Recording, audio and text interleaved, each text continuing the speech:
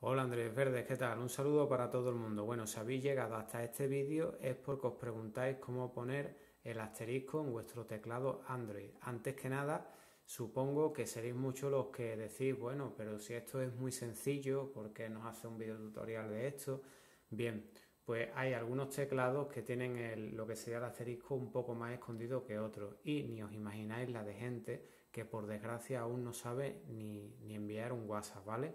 Bien, pues este tutorial está hecho para todas aquellas personas que os estáis iniciando en lo que serían los móviles, eh, los teclados, WhatsApp y demás y os resultan pues un poco complicados porque lo cierto es que si nunca has tocado un teléfono táctil que te cueste trabajo saber dónde están los símbolos especiales, pues este tutorial va enfocado a esas personas. Bien, pues a lo largo de este vídeo vas a aprender con distintos teclados, el teclado SwissKey, el teclado de Google y el teclado de Samsung y averiguarás dónde se encuentra el asterisco.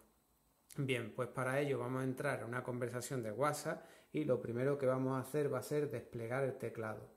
Este teclado, si bien no me equivoco, es el teclado de Google. Bien, pues para abrir lo que sean los asteriscos, tenemos que situarnos justo abajo a la izquierda donde está este 1, 2, 3, le damos y aquí aparecerá ya el asterisco, ¿vale? Y le damos a enviar y listo. ¿Veis? Esto sería con el teclado de, de Google, pero ¿cómo sería con otro distinto teclado?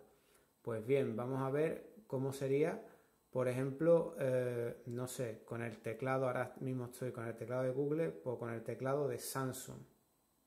Volvamos y vamos a ver cómo sería el teclado de Samsung. Como veis, el teclado ha cambiado ligeramente, pero si os fijáis, siempre están los símbolos de carácter especiales en la esquina abajo inferior izquierda. Le damos nuevamente y aquí nos aparece el asterisco.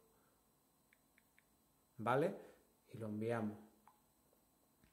Bien, ¿y cómo sería con el teclado SwiftKey? Que el teclado SwiftKey eh, es el que usan la, gran mayoría de personas.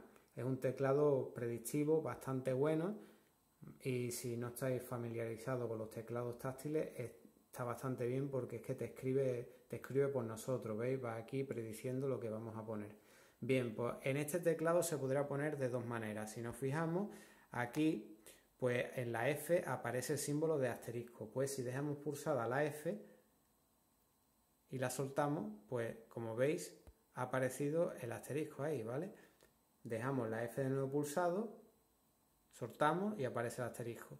También está el famoso 1, 2, 3, donde le podemos dar para acceder a todo lo que serían los caracteres especiales. Y aquí estaría nuevamente pues el asterisco. Y nada, le damos a enviar y listo.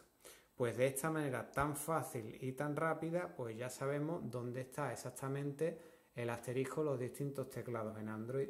Espero que os haya gustado este sencillo vídeo porque es muy sencillito, que le deis a me gusta, que lo compartáis y recordad suscribirse al poder de Android de verde y que activéis la campanita para estar al tanto del siguiente capítulo. ¡Hasta luego!